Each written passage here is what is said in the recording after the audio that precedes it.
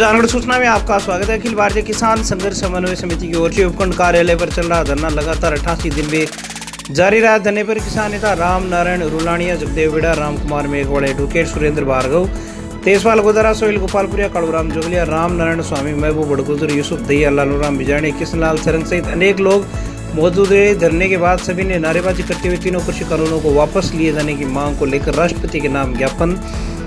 DSP Ram Pratap Vishnu को सौंपा। बेसहारा पशुओं को शहर से हटाकर उनका बंदोबस्त किए जाने सहित कुल आठ मांगों को लेकर नगर परिषद के बाहर सामाजिक कार्यकर्ता नरेंद्र गुर्जर का धरना।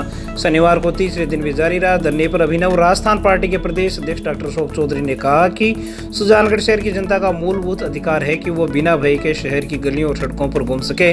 लेकिन नगर परिषद की लापरवाही के कारण बच्चों व बूढ़ों का घर से निकलना दूर हो रखा। चौधरी ने कहा कि शहर के गांधी चौक जैसे बाज़ार में आवारा पशुओं का डर हर वक्त लोगों को सताता है। इससे ज़्यादा प्रशासन की निष्क्रियता नहीं देखी जा सकती। चौधरी ने नरेंद्र गुज्जर की मांगों को नैतिक समर्थन दिए जाने की घोषणा की।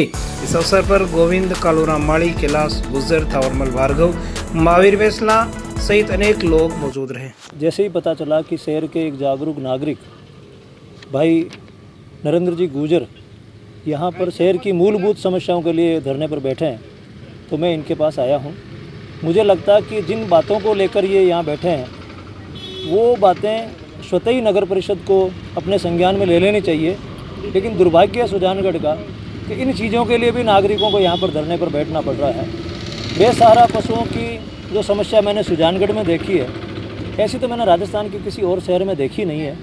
और यहाँ शहर के बीच में हालत ये है कि घंटाघर और गांधी चौक में आप रात को खड़े नहीं हो सकते, इतनी ज़्यादा बदबू आती है। इन चीज़ों के लिए भाई नरेंद्र को धरने पर बैठना पड़ा है, ये मैंने सुना। इसके लिए मैं यहाँ पर इनके पास आके बैठा हूँ। हम लोग पूरा नैतिक समर्थन इनको दे रहे हैं इस बात को लेकर। और आने वाले समय में जब यहाँ चुनाव है, उसमें भी हम इस, इसको मुद्दे के रूप में उठाएँगे। सुजानगढ़ को एक अच्छी व्यवस्था चाहिए, स्वस्थ व्यवस्था चाहिए, समृद्ध व्यवस्था चाहिए।